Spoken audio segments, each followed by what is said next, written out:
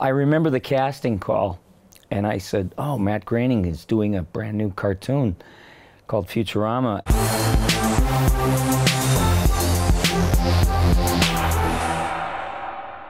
Being an American alive in the 90s, I knew who Matt Groening was. I mean, come on, this is a dude who changed American pop culture so much that he had to change his son's name because you couldn't be an eight year old boy in America named Homer.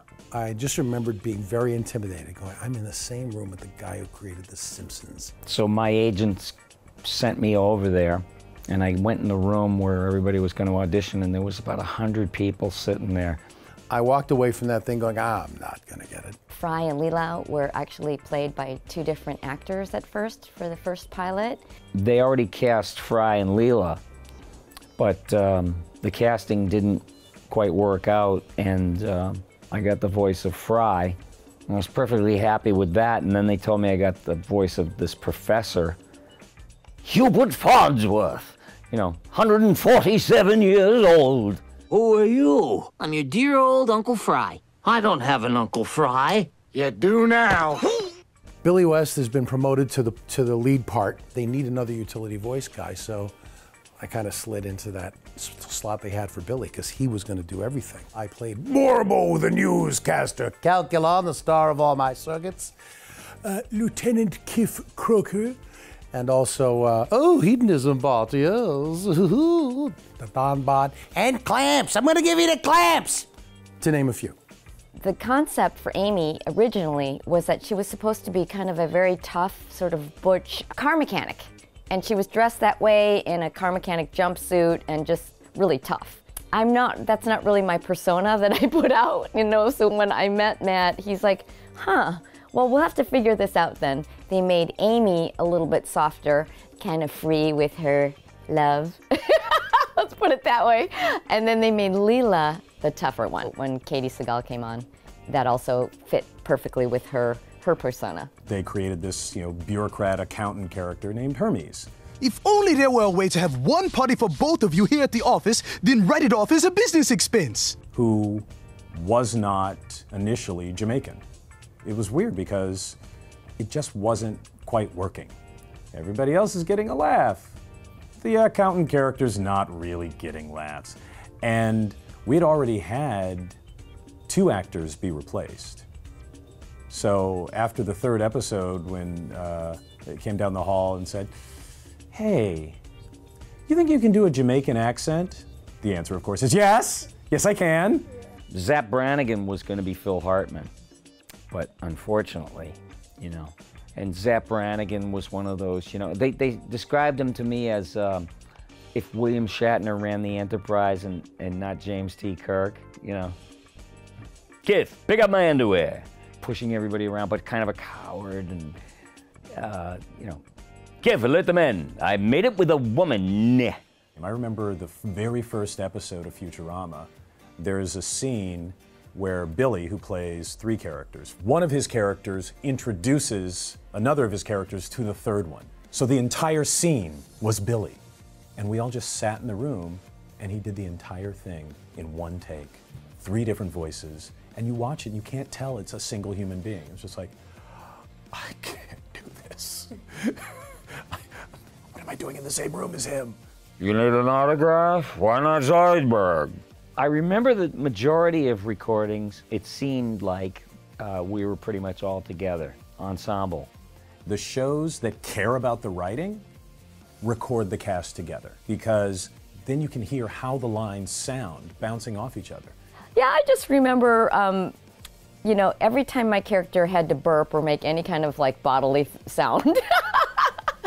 so either John or Maurice or, or, you know, they, they're like experts at burping. And so then it would sound like this tiny girl made this gigantic burp. I played a goat, a two-headed goat who, uh, who vomits and defecates from each of its mouths. It's an effect I do that combines a sort of Tuvan uh, singing technique with turning my, my tongue inside out inside my cheeks to make a, an echo chamber. And it sounds something like this.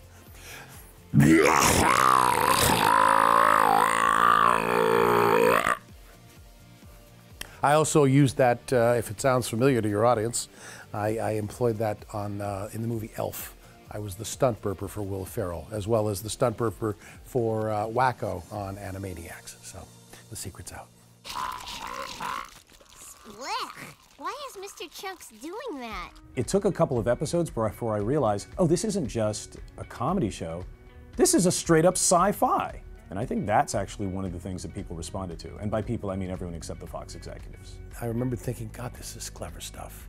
You know, the writing staff are all, you know, Harvard and, and Stanford, uh, MIT, you know, geniuses. That's what I love this, about the show the most is the writing. I, I'd never seen that kind of writing as far as humor. That's always my favorite kind of entertainment when things make you laugh and cry, and then you, you know, it's kind of rare that, a, that an animated show would make you cry, but it certainly did for me. I thought the show really found its, its really warm emotional center with uh, the episode w- with Fry's dog. Seymour will live again! A little land mammal. Can you believe it, Bender? I'm gonna have my best friend back! Like, I knew it was going to be sad. I even recorded it. But I had no idea how sad it was going to play on TV. And I was like, everybody can relate to that situation. You know, we've all had pets, we bond with animals, and you want them to live forever, but they don't. So you have to say hello and goodbye to a lot of good, darn good little friends, you know? David Cohen, uh, our, our executive producer, reads all the stage direction. And as he's reading this and we get to the end, I'm like, that poor dog. You know, so that's that, that to me was the big gooey emotional center of the show. Your emotions made him feel bad. You're right. I feel terrible. Oh, great. Now you're making them feel worse. It didn't have the automatic success, you know, per se that The Simpsons had. Our, our show was more of an acquired taste, I think, and uh, but a super loyal, rabid fan base. The, the ones that did love us loved us. The fans rallying together was gave us such a lift and bringing us back, and then, you know, airing on Comedy Central. What a gift! The fact that it came back almost solely based on the fans. People kept watching it. People kept buying the DVDs. And they realized, oh, there's an audience. Like, yeah, we could have told you that. Whenever we came back to it, it felt like we were coming home. That was my favorite show I ever did. So the thought of it going off, I said, I'm going to have serious uh, separation anxiety. And I always did. And then when it came around again, I was raring to go all the time. I was down there on a racehorse, you know, to the sessions. Yeah, we're back. Yeah! The ending that, that we came up with for the series finale is probably the best possible ending. If it never comes back, we've left it so that when they re enter the time stream, they can come back at any point.